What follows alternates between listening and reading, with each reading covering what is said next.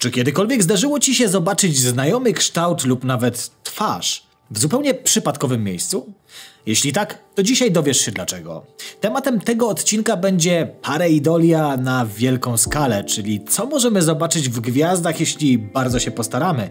I jak bardzo potrzebna nam swego czasu cecha mózgu zadrwiła sobie z naukowców i ich badań.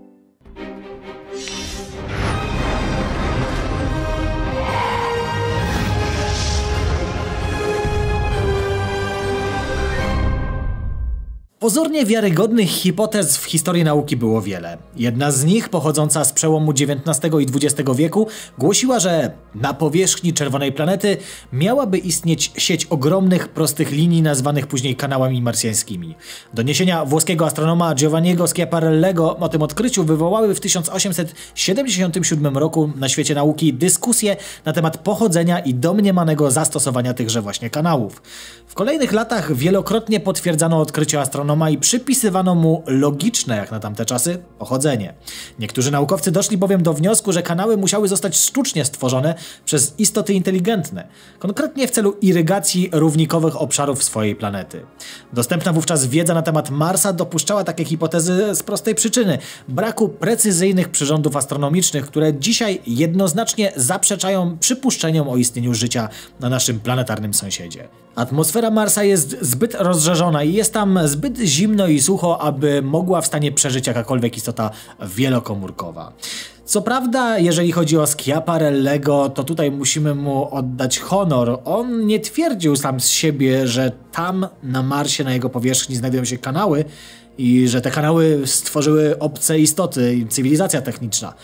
Absolutnie nie. On pokazywał, że widzi tam coś dziwnego, a już te interpretacje były no cóż, dostarczane przez inne gorące głowy ze świata nauki albo przez ludzi, którzy gdzieś tam w jakiś sposób dowiedzieli się, że takie odkrycia zostały poczynione.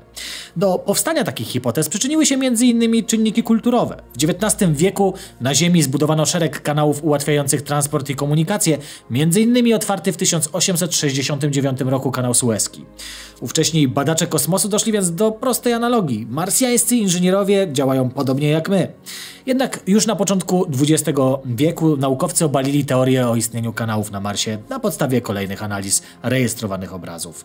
Kanały okazały się jedynie iluzją optyczną, która w połączeniu z ambicją astronomów e, no i wszystkich zainteresowanych, e, którzy próbowali dostrzec tam znajome obiekty na niewyraźnym i rozmazanym obrazie Marsa, zyskała na znaczeniu dużo większym niż na to zasługiwała.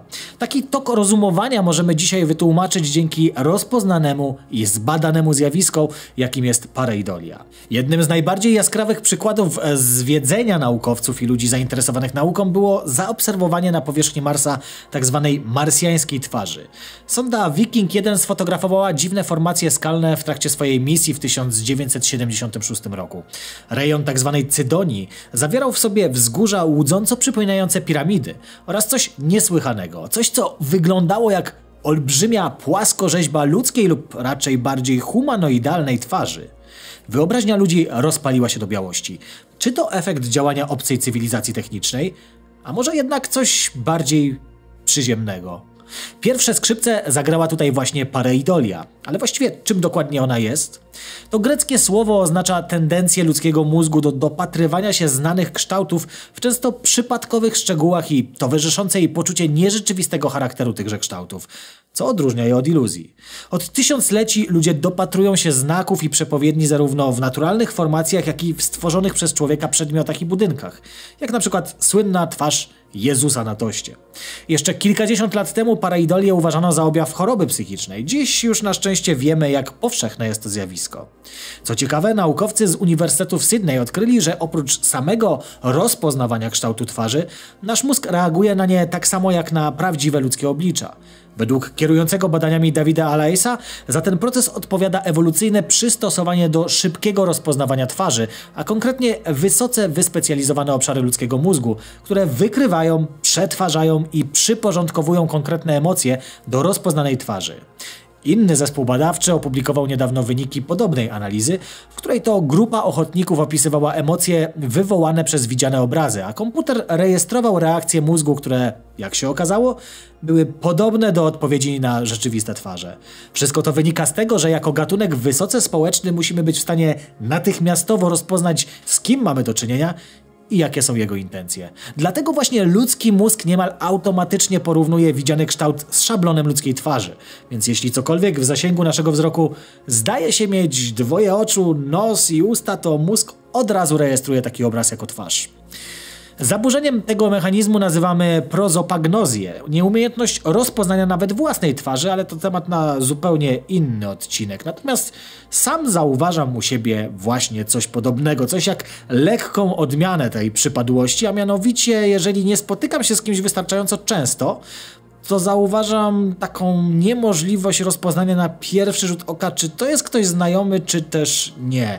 Pewnie macie coś podobnego, pewnie nieraz zdarzyło ci się spojrzeć na kogoś i zastanawiać się, hej, powinienem się przywitać, czy też może nie. I dokładnie to samo widzę też w oczach niektórych sąsiadów, z którymi widujemy się raz na miesiąc na przykład, albo i jeszcze rzadziej. Dzisiaj w erze galopującego rozwoju technologicznego mamy do dyspozycji teleskopy i aparaty umożliwiające dokładną analizę powierzchni Marsa. Stąd wiemy, że słynna marsjańska twarz to wynik gry światła i cieni, a także słabej jakości zdjęć zrobionych przez sondę Viking 1.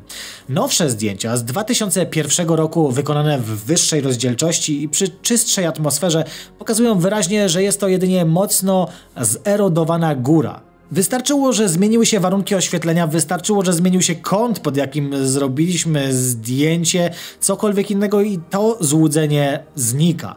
Gdyby faktycznie była to twarz, to nawet pod innym kątem widzielibyśmy ewidentnie rysy tejże właśnie twarzy. Natomiast tutaj nie jest to nic innego jak dziwnie umieszczone okna w jakimś domu, które od razu przypominają nam twarz albo twarz robota. Mimo tych dowodów nadal znajdziemy zwolenników teorii spiskowych, którzy twierdzą, że marsjańska twarz to dowód na istnienie cywilizacji na Marsie, a NASA celowo ukrywa przed nami ten fakt, fałszując zdjęcia. Jako jeden z flagowych przykładów pareidolii, marsjańska twarz zainspirowała specjalistów do zaprojektowania programu komputerowego, mającego za zadanie poszukiwać właśnie twarzy na powierzchni naszej planety. Projekt Google Faces analizuje zdjęcia satelitarne Ziemi i znajduje formacje przypominające twarze, aby pokazać, jak można zasymulować na komputerze naturalny fenomen, jakim jest pareidolia. Program nie jest jednak idealny. Już po pierwszej analizie dostępnych danych zarejestrował dziesiątki obrazów, które uznał za zgodne z układem ludzkiej twarzy, jednak często zdjęcia te dla człowieka nie będą przypominać zupełnie nic. Wyniki tego eksperymentu możecie ocenić sami, a link do tego, do większej ich ilości znajdziecie oczywiście w opisie tego filmu. Także jak widzicie, nie wszystko złoto, co się świeci, nie wszystko twarz, co się świeci, nie, ta analogia zupełnie nie działa, ale rozumiecie o co tutaj chodzi. Nie wszystko, co na pierwszy rzut oka wydaje się być twarzą, czy jakimś kształtem podobnym do czegoś innego, naturalnie nim jest. I dlatego trzeba wystrzegać się takich pułapek myślenia przy analizie naukowej. No bo jeżeli coś wygląda jak coś, co chcielibyśmy, żeby było w miejscu, które badamy, zachowuje się jak coś, co chcielibyśmy, żeby było w miejscu, które badamy, no nie oznacza jeszcze, że faktycznie tym jest, a tutaj jeszcze dochodzi coś takiego jak błąd potwierdzenia, atrybucji, który sprawia, że nasz mózg bardzo chętnie zatrzymuje się już w tym miejscu, kiedy potwierdzi z grubsza, że mamy rację i nie bardzo chce mu się bardziej wnikliwie w dany temat zagłębiać. A to jest podstawa i dopóki tak nie będziemy robić, dopóki nie będziemy podważać wszystkich tego typu odkryć, nie dojdziemy do prawdy. Bo możemy zatrzymać się na przystanku, który wcale nie jest przystankiem końcowym. Ale to już jest końcowy przystanek tego odcinka. Także zapraszam Was serdecznie na Instagram Astrofazy, na nasz drugi kanał Astro Chillout i widzimy się w kolejnym. Trzymajcie się, do zobaczenia i cześć!